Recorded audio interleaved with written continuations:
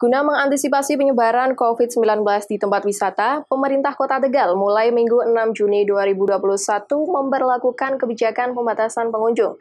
Hanya mereka yang memiliki KTP Kota Tegal yang diizinkan masuk ke tempat wisata.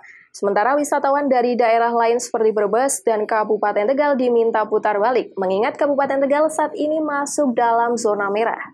Bagaimana situasinya? Berikut liputannya. Ratusan kendaraan wisatawan baik kendaraan roda 2 maupun roda 4 mengular panjang di loket pintu masuk objek wisata Pantai Alam Indah Kota Tegal minggu pagi hingga siang. Menumpuknya antrian kendaraan pengunjung objek wisata Pantai Alam Indah Kota Tegal bukan tanpa alasan. Selain memeriksa suhu badan, pengunjung objek wisata Pantai Alam Indah ini juga wajib menunjukkan kartu tanda penduduk mereka. Kabit Pariwisata Dinas Kepemudaan Olahraga dan Pariwisata Kota Tegal Maman Suherman mengatakan untuk hari ini Pemkot Tegal memperlakukan pembatasan kunjungan wisatawan.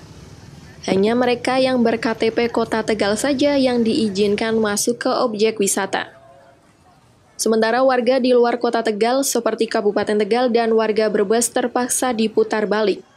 Langkah ini diambil untuk mencegah dan mengantisipasi penyebaran COVID-19 di tempat wisata, mengingat wilayah Kabupaten Tegal saat ini masuk dalam zona merah. Hanya mereka yang ber-KTP Kota Tegal saja yang diizinkan masuk ke objek wisata.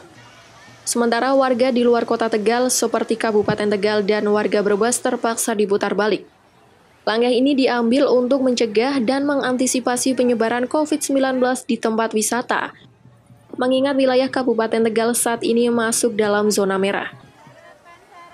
Meski pengelola wisata Pantai Alam Indah mengklaim hanya warga kota Tegal saja yang diizinkan masuk ke objek wisata di kota Tegal, namun faktanya banyak warga di luar kota Tegal masih bisa masuk ke tempat wisata seperti Pantai Alam Indah kota Tegal.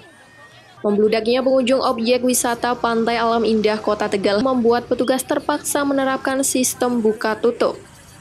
Langkah ini diambil untuk mengurangi kerumunan pengunjung di lokasi wisata.